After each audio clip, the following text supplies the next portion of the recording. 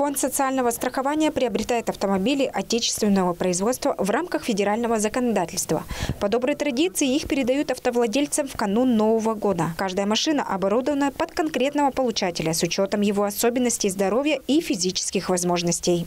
Фонд социального страхования осуществляет страхование от несчастного случая на производстве профессиональных заболеваний работающих граждан всей России. При наступлении несчастного случая на производстве и установлении инвалидности э, инвалидности устанавливается бюро медико-социальной экспертизы и прописывается программа реабилитации пострадавшего, в котором может быть э, изделия такие обеспечения, как э, лекарственное, санаторно-курортное лечение, медицинское лечение и технические средства реабилитации.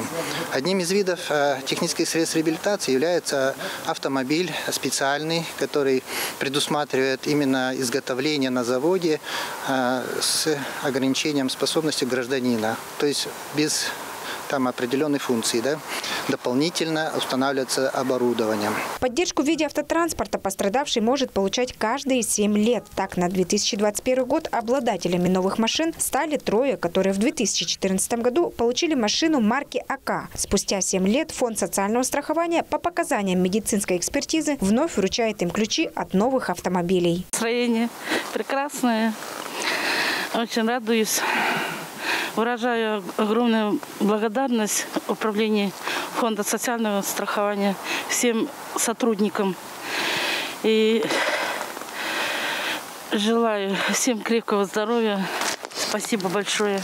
Предыдущую машину, которую участники получили в 2014 году, государство не забирает. Обладатели новых машин могут продать ее, а это дополнительный доход для лиц, пострадавших на производстве. Именно так и поступил второй обладатель «Лады Гранта». Николай Изместьев признается, как узнал, что получу новый автотранспорт, подал объявление на продажу старой.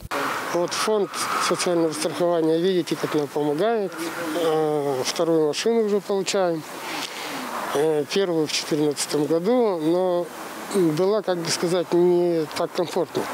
Это уже идет автомат, э, не надо дергать там никакие педали. Короче, мне нравится, очень хорошо. Спасибо всем работникам. Но я очень рад.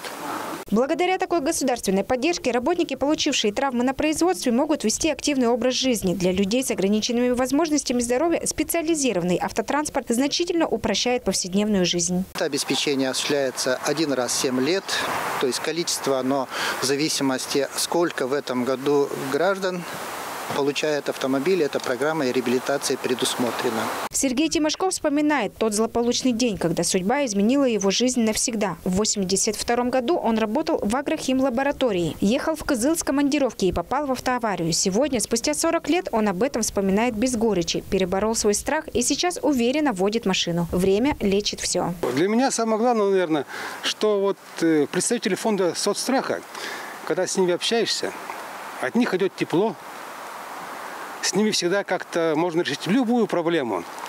Мне в основном приходится вот встречаться с, э, с Сергеем Хвалыковичем и Натальей Михайловной. Это добрейшие люди, это ну, теплые, уютные, комфортные отношения.